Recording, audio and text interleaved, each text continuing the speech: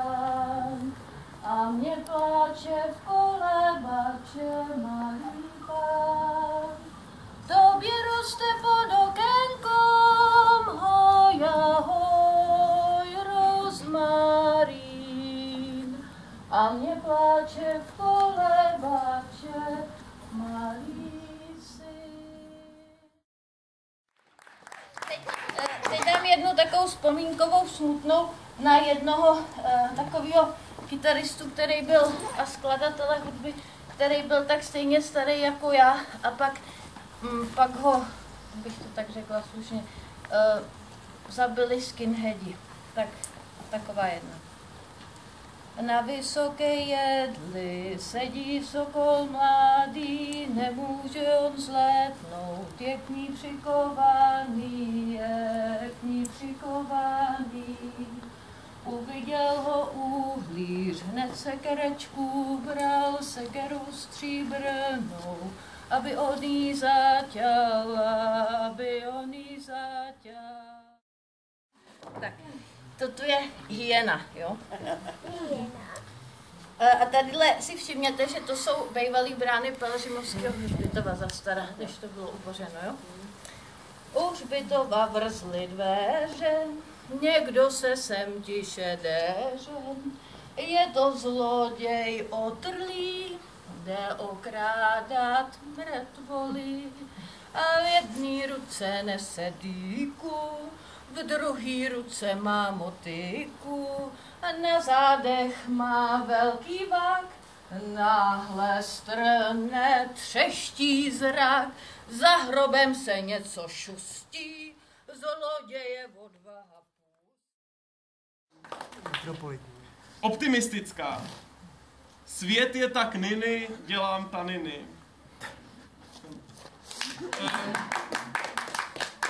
Další je pesimistická. Všechno jednou zajde. Zajdem na jedno. no, to je konec. Ale uh, další, další báseň se jmenuje uh, Bondy.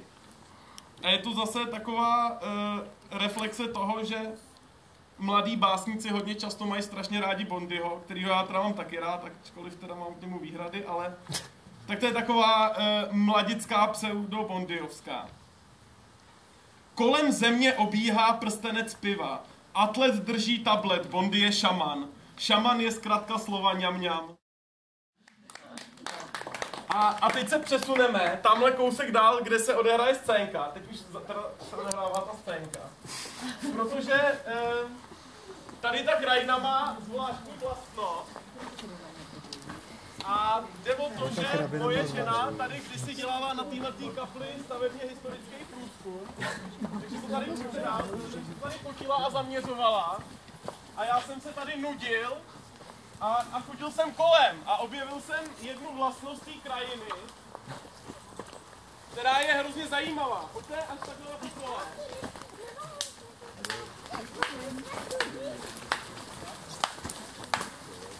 Tady je totiž takový bod, tady je takový bod, který, který vrací ozvěnu ve správném rytmu. A, a ten řízený trapas je v tom, že pokud jsou povětrnostní podmínky špatný, tak to není slyšet. Takže jste se možná jako šli zbytečně. Jo, počkat, už, už to chytám. Jo. Slyšíte to? Aha.